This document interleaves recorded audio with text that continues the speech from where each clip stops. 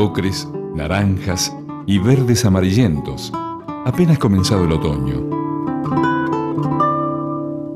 Es en sus calles, en sus amplias veredas y en sus arboledas donde comenzamos a ver las señales de un nuevo tiempo que llega. Las poéticas imágenes de color, de luces otoñales y de encuentros se desvanecen cuando debemos ocuparnos de la limpieza de las hojas secas. Nos preocupamos por la eficiencia del servicio de recolección de hojas, por no quemarlas, ya que contaminan el ambiente. Otras personas más concientizadas la utilizan como abono. Pero solo jóvenes estudiantes de la carrera de diseño industrial de la Facultad de Arquitectura, Urbanismo y Diseño pensaron otra manera de utilizar este residuo y aportar así respuestas innovadoras y creativas. Encontramos ese problema que eran las hojas secas y entonces empezamos a ver que, había que trabajar e intervenir sobre las hojas secas. Había que buscar alguna solución, alguna utilidad a ese recurso que no, no se lo veía como tal, sino se lo veía como una basura, como un residuo urbano que podía eh, dejar de ser tal y pasar a ser un, tener un recurso con, con un valor importante. El trabajo de estudio que se propusieron los estudiantes corresponde al taller del diseño del último año de su formación. Implicó investigación y compromiso con el medio, dando nuevas soluciones a este antiguo problema.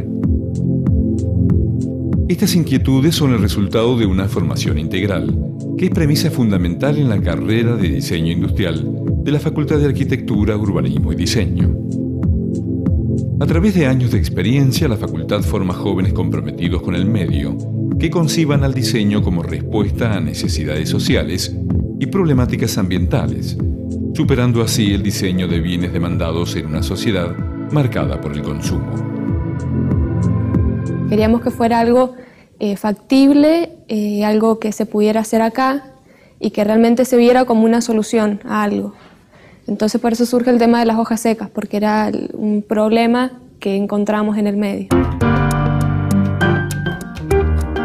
En ese momento los estudiantes definieron la necesidad de pensar respuestas para reutilizar las hojas secas.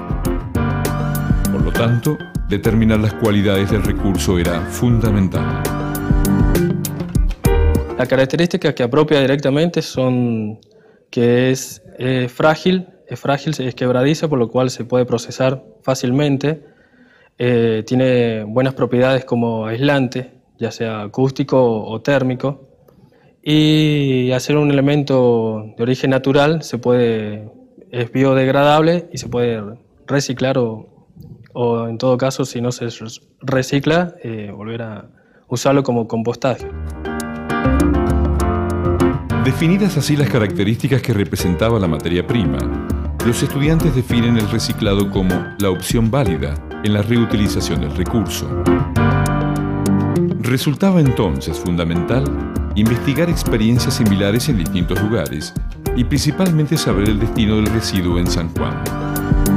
Nosotros fuimos a las municipalidades del Gran San Juan, Capital, Rivadavia, Santa Lucía, Chimbas y Rawson eh, principalmente al área de obras y servicios, de limpieza urbana, y lo que averiguamos fue eh, qué es lo que se hace con este residuo, porque es muy abundante y nosotros no sabíamos qué destino tenía.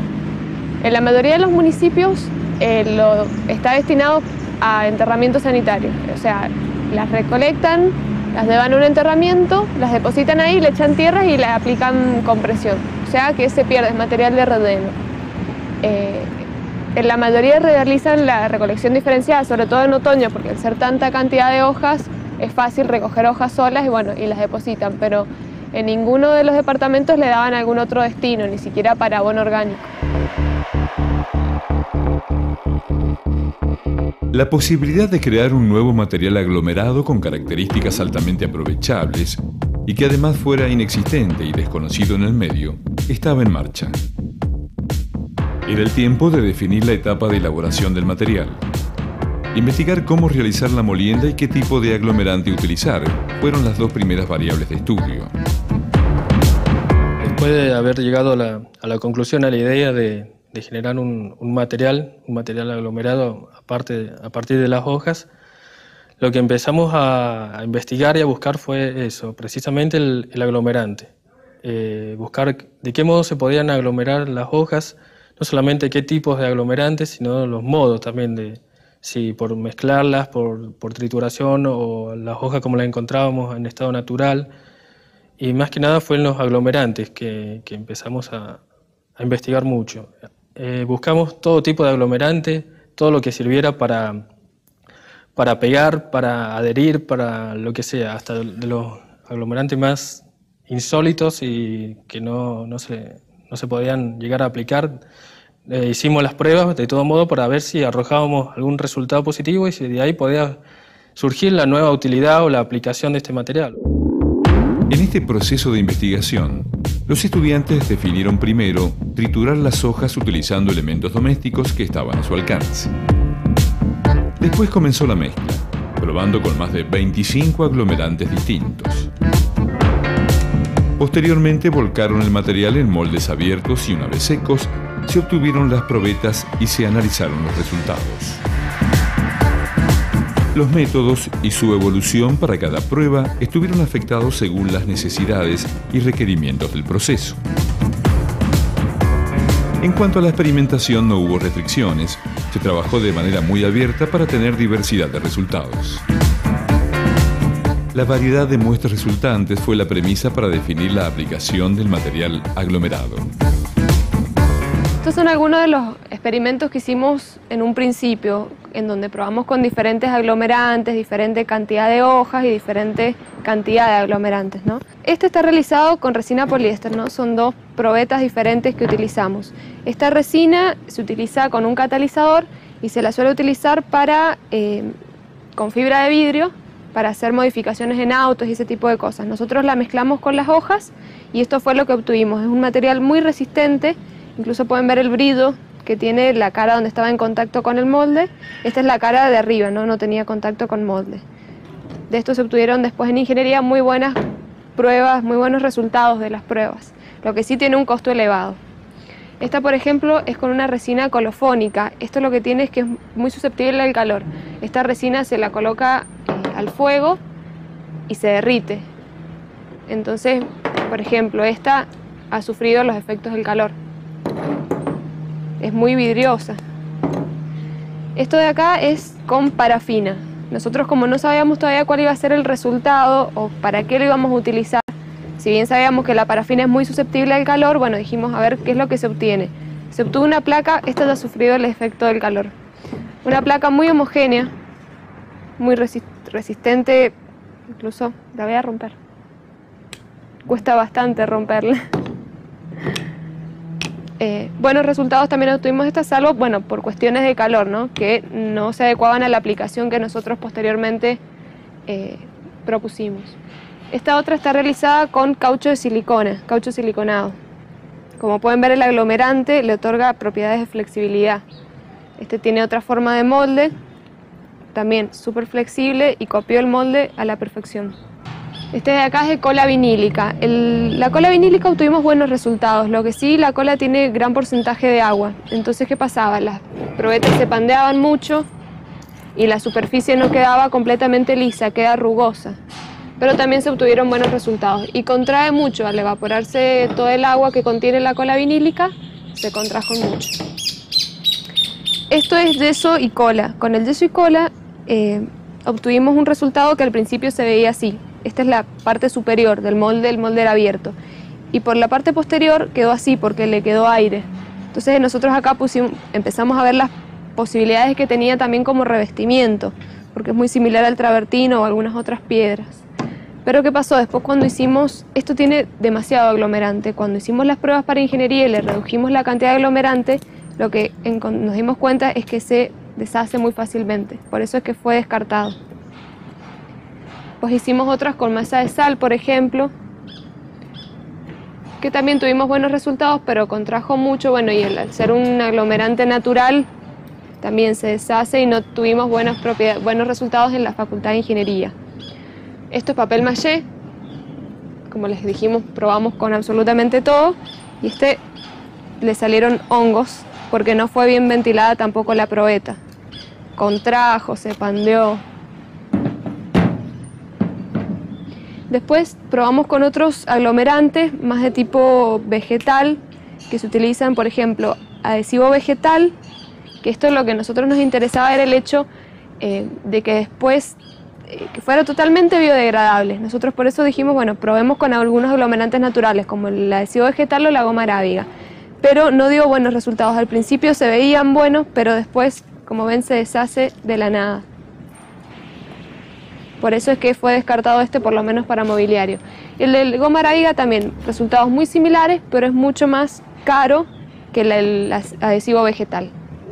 Después hicimos otras pruebas con barniz, eh, porque también pensamos que se podía llegar a utilizar como un revestimiento que viniera una, una pasta con la que se pudiera revestir algunas superficies. Esto es una mezcla que viene ya preparada, es eh, cerámica sin horno. Esto tiene demasiado aglomerante y muy pocas hojas secas, por eso es que apenas se ven las hojas. Con este este es pesado, tuvimos buenos resultados, pero cuando le redujimos la cantidad del aglomerante, también la muestra se deshacía, por eso es que fue descartado. Después de todas estas pruebas, se originaron las primeras eliminaciones.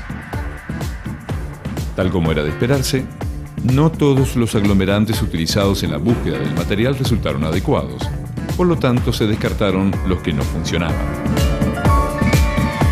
Las probetas obtenidas fueron sometidas a ensayos físicos y mecánicos, determinados por las normas IRAM para paneles de madera. Se realizaron en el Instituto de Materiales y Suelos, dependiente de la Facultad de Ingeniería. Este centro de investigación de la Universidad Nacional de San Juan tiene entre sus objetivos principales proporcionar servicios tecnológicos a la comunidad y efectuar estudios de suelos y materiales para edificar. Por esto, el instituto fue el lugar indicado para lograr el asesoramiento y verificación de las propiedades del material aglomerado de hojas secas.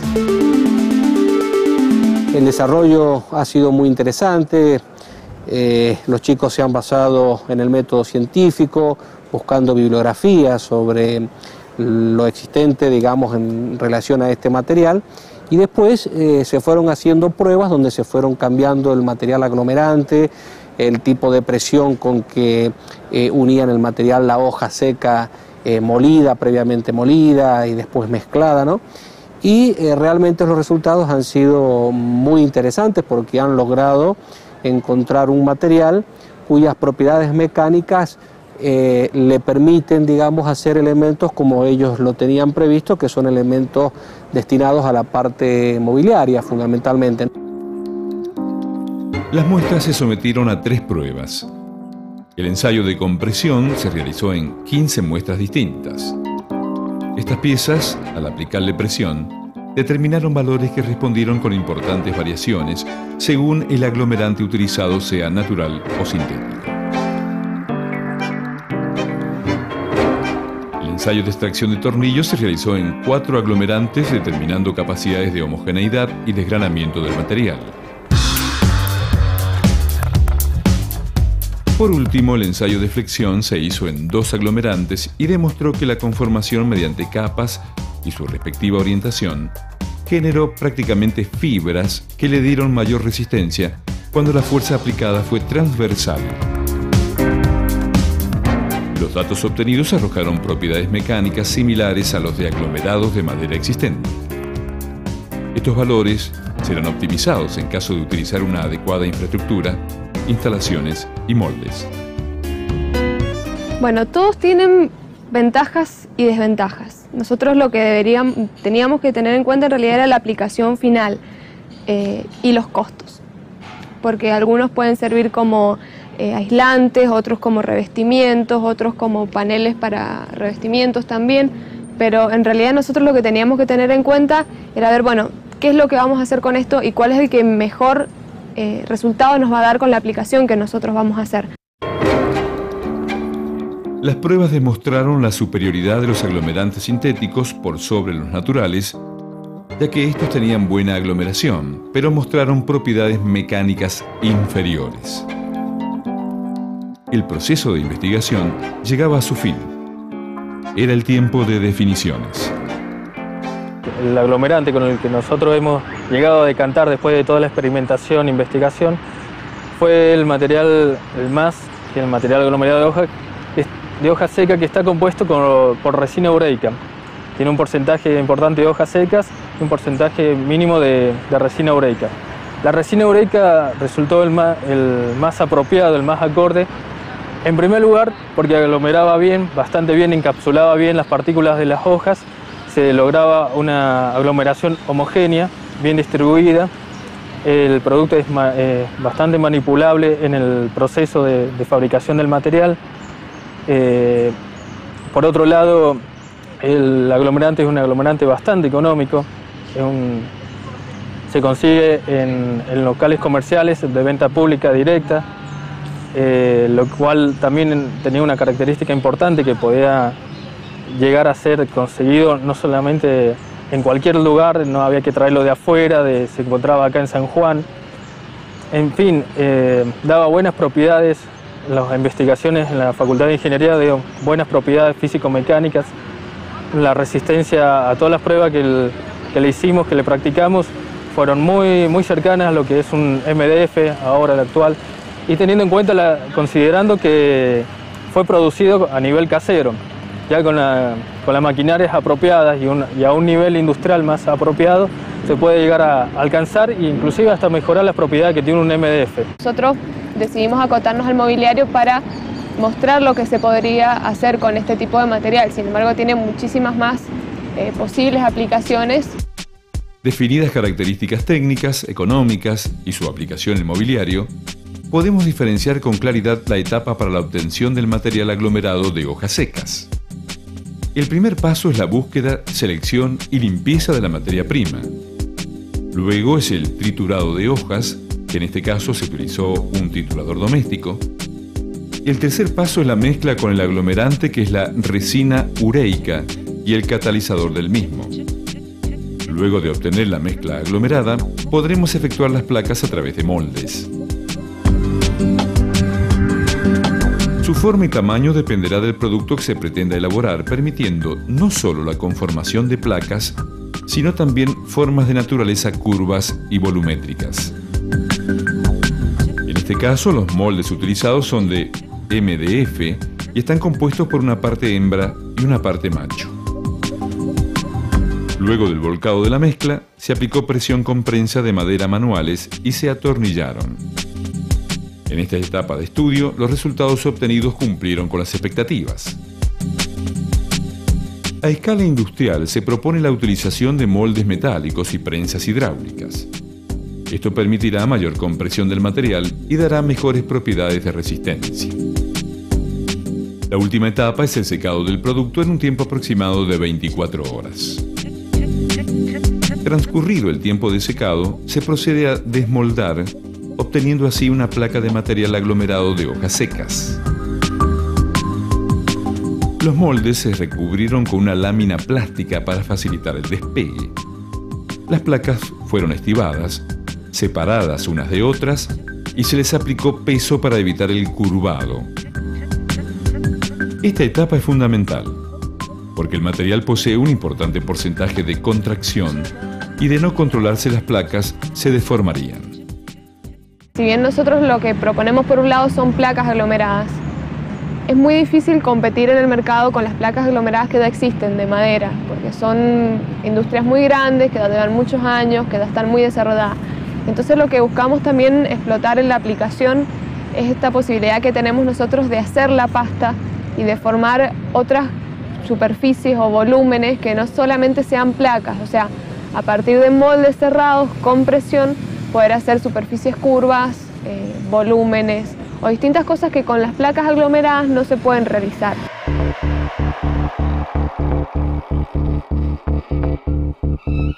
Desde esta perspectiva, los estudiantes diseñaron un sillón donde las formas curvas dominan la propuesta. Simpleza, calidad y la búsqueda de formas que favorezcan el descanso fueron algunas de las premisas.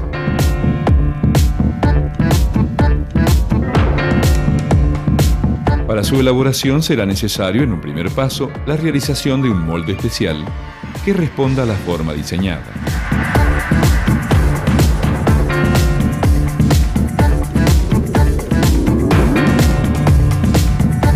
propuesta trabaja dos piezas iguales como únicas partes del sillón.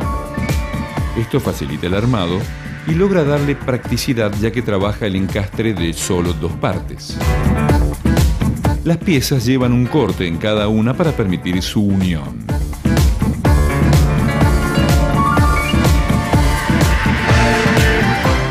Por último se encastran las piezas y presentan el producto final.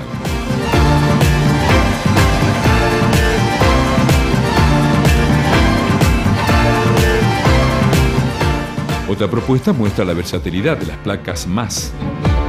Se diseñaron de manera modular para permitir distintas respuestas al unirse entre sí. De esta manera, las placas moduladas son capaces de definir separadores espaciales, mesas y novedosos objetos. Este camino de búsqueda, investigación y propuesta, recorrido por los estudiantes de diseño industrial, les permitió ser invitados por la universidad para participar en el primer foro de capital de riesgo realizado en San Juan. Este espacio, pensado para que las ideas tecnológicas se transformen en oportunidades de negocios, les sirvió para proyectar su trabajo, analizar fortalezas y debilidades del proyecto. El proyecto en sí no demanda una gran inversión y se puede recuperar esa inversión en poco tiempo, inclusive incrementar la ganancia y, y los ingresos de la, de la empresa, la pyme, lo que se vaya a realizar. Tiene mucho potencial económico. En definitiva, esta gente que conoce de este, tema nos dijo que tiene bastante potencial económico por las propiedades y la metodología en sí que tiene el material, que no solamente se pueden realizar placas, sino que se pueden hacer productos ya in situ, ya terminados, que salen directamente del moldeo, que se puede trabajar con volúmenes, con superficies curvas, que por ahí con otros aglomerantes no se realiza. Es el potencial y es el valor agregado que tiene nuestro material, que lo hace diferente a los aglomerantes tradicionales y es lo que da la oportunidad de negocio en sí. Estos jóvenes diseñadores, como tantos otros, que año tras año culminan su formación de grado, son jóvenes egresados de nuestra Universidad Nacional de San Juan, formados en el compromiso social, la solvencia académica y la capacidad de contribuir al desarrollo sustentable de nuestra sociedad.